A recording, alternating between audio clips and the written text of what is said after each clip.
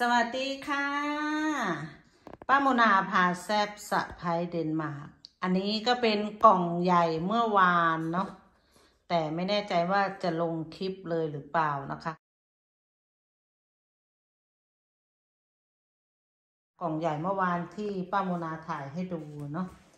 อันนี้ก็เป็นเครื่องตัดหญ้า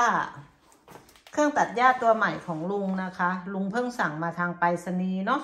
เขาก็มาส่งเมื่อวานนี้นะคะ พอเขามาส่งเมื่อวานนี้ ลุง กลับมาจากที่ทำงานก็มาแกะเอาไว้ว่ามีอะไรบ้างนะคะ ก็คือดูว่ามันมีอะไรบ้างก็คืออุปกรณ์นะนะคะ ลุงก็วางตรงนี้สองชิ้นแล้วก็วางอีกชุดหนึ่งก็วางบนโต๊ะก็จะมีสาย สายเชื่อมชาร์จแบตเตอรี่นะคะ ก็แค่ สายเชื่อมนะคะ ส่วนสายวิ่งรอบดินรอบสวนเราไม่ต้องใช้นะคะ รุ่นนี้ใช้การสั่งงานจากมือถือนะคะ เดี๋ยวเราก็จะมาชมครั้งต่อไปว่าลุงทำยังไงเนาะวันนี้ป้าโมนาก็แค่ให้ดูว่าของใหม่มาถึงแล้วจ้าลุงไม่ต้องเหนื่อยแล้ว ไม่ต้องไม่ต้องเดินตัด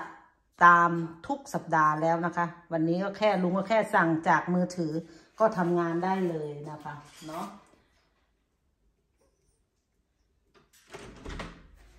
ป้าโมนาก็จะพาเดินออกไปดูสวนอีกเหมือนเคยนะคะ คลิปสั้นๆ นะคลิปสั้น ๆนะคะ สวนก็ยังสวยงามอยู่เนาะแต่ป้าโมนาไม่พาดูดอกไม้ วันนี้ป้าโมนาจะพาดูผักสวนครัวนะคะ นี่ป้าโมนาทำความสะอาดแล้วเนาะสัปดาห์ที่ผ่านมานะคะ ก็คือถอนอตรงนี้จุดนี้ที่ถอนออกก็คือสตรอเบอรี่ ราะว่ามันอยู่สองปีแล้วสองปีลุงโละเลยนะคะ ลุงไม่เก็บไว้เนาะเราก็จัดไปตามใจลุงแล้วแต่ท่านนะคะ เราเป็นแค่ผู้อาศัยเนาะก็ก็มาปลูกใหม่ตรงนี้ก็คือเอาหน่อจากสองปีที่แล้วที่มันเลื้อยออกมาหน่อเล็กๆกันนะคะ ที่มันเลื้อยออกมา มาปลูกตรงนี้ก็คือพันธุ์ใหม่ของเรานะคะ แต่เป็นแนวเก่าก็คือเอามาปลูก เราก็คือได้ของใหม่เนาะส่วนตรงนี้โมนาเคยลงเป็นเขาเรียกว่าอะไร ผักชีของประเทศไทยนะคะของไทยเนาะป้าโมนาก็โละออกเพราะว่าเดี๋ยวเขาเข้าหนาวแล้ว เราต้องเคลียร์พื้นที่ให้ให้สะอาดนะคะ ให้สะอาดเนาะเพราะว่าหน้าหนาวผักชีเราไม่สามารถอยู่ได้นะคะ ทนหนาวไม่ได้เนาะส่วนดอกไม้อันนี้ก็เหมือนเดิมไม่เป็นไรไม่มีปัญหา อันนี้ไม่มีปัญหา แต่ตรงปลายนู้นเดี๋ยวเราค่อยเคลียร์ให้มัน ให้มันใกล้หนาวมากๆก่อนเราค่อยเคลียร์ออก แต่ส่วนนี้ไม่มีปัญหาปลูกได้ เขาทนแดดทนร้อนทนฝนทนหนาวได้นะคะ ตามสบายจัดไปอันนี้ก็ยังเหมือนเคยนะคะ สุกเต็มต้นเลยเนาะป้าโมนาก็เสียดายอยู่แต่ป้าโมนาก็พยายามเก็บไปกินทุกวันนะคะ เก็บไปแจกเพื่อนๆด้วยเนาะก็ไปเก็บไปมั่งแล้วนะคะอืมอร่อยแล้วค่ะ หล่นเต็มพื้นเลย หล่นเต็มพื้นเลยช่วงนี้ไม่ต้องจ่ายค่าผลไม้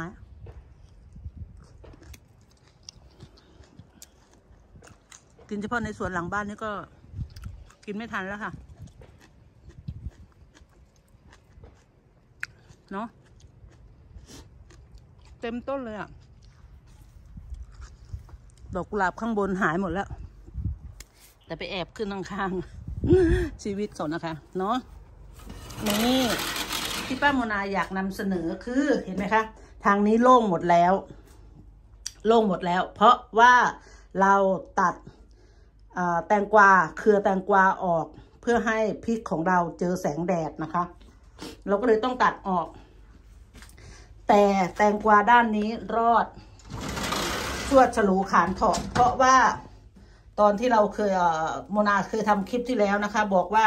แตงกวาคือเครือนี้จะตัดทิ้ง เพราะว่านางไม่ให้ลูกคือนางให้ลูกแค่ต้น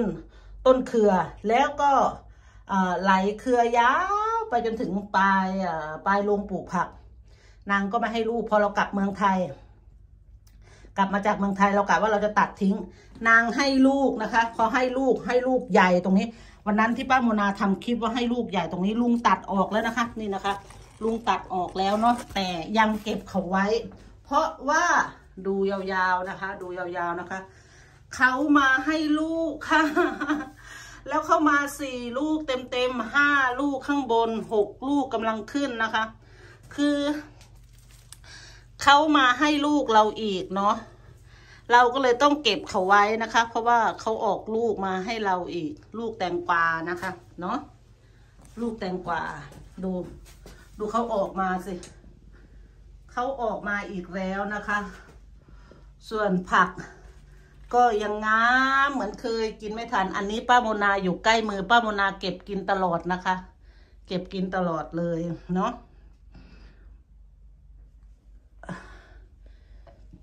นี่เม็ดผักชีที่ป้าโมนามาแฝนไว้ เดี๋ยวพอตอนหน้า หน้าร้อนปีหน้า เราก็จะเอาเม็ดตรงนี้แหละไปโรยเลยนะคะ ป้าโมนาโรยเลยนะป้าโมนาไม่ได้ว่าเอาไปแช่น้ำเนาะก็คือไปอย่างนี้เราไปเคาะลงดินเลยนะคะ ก็คือป้าโมนาทำแบบนั้นนะคะมะเขือเทศก็ยังงามอยู่เนาะแตงโมไม่ให้ลูก เราก็กะว่าเราจะขู่เราจะตัดเราจะตัดทิ้ง ก็ยังไม่เห็นลูกนะคะมะเขือเทศก็ยังงามสุกกินไม่ทัน เช่นเคยค่ะเนาะแต่อันนี้เก็บกินได้เลยนะคะ อันนี้เก็บกินละมะเขือเทศราชินีเก็บกินได้เลย อร่อย อืมอร่อยอร่อยกินแล้วลูกเดียวไม่พอนะคะสองลูกแล้วนะอืมอืมอร่อย อืมพี่น้องดูถั่วฝักยาว กี่วันเนี่ย วันนี้วันที่ยี่สิบสาม ยี่สิบสาม ก็คือยี่สิบสี่วันนะคะ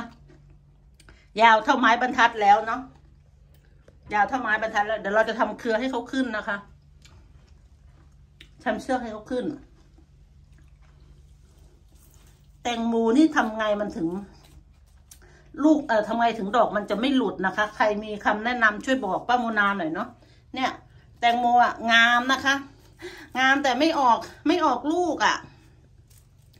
โมนาก็ถ้าเขาออกมาอย่างนี้โมนาก็พยายามเด็ดแล้วเด็ดทิ้งแล้วทิ้งอีกนะคะพริกฉันก็ต้นนี้ก็เลยได้แค่นี้พริกก็ยังงามๆนะคะ ด้านนี้คือพริกล้วนๆนะคะเนาะด้านนี้คือพริกล้วนๆใบก็งามงามพริก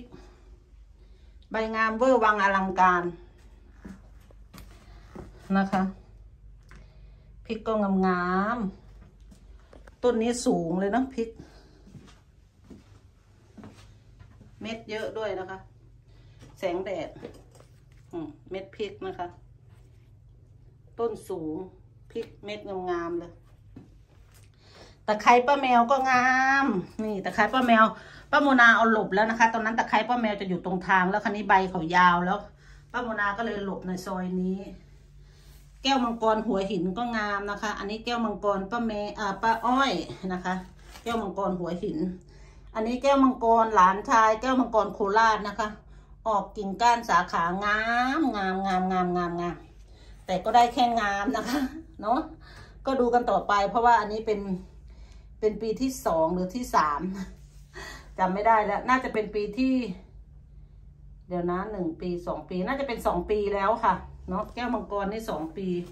ใบมะกรูดแม่เมย์นะคะ เนาะก็งามๆอยู่ค่ะ เนาะเปลี่ยนดินแล้วเราก็ได้แค่ประมาณนี้นะคะ โอเคค่ะ วันนี้ป้าโมนาก็อัปเดตต้น ถั่วฝักยาว อัปเดตต้น แตงกวานะคะ เครือแตงกวาเนาะก็ยังมีพอให้เราได้เก็บจากหลังจากที่เราเก็บไปแล้วสัปดาห์ละสามลูก กินไม่ทันตอนนี้อยู่ในตู้เย็นนี่ก็เอ่อ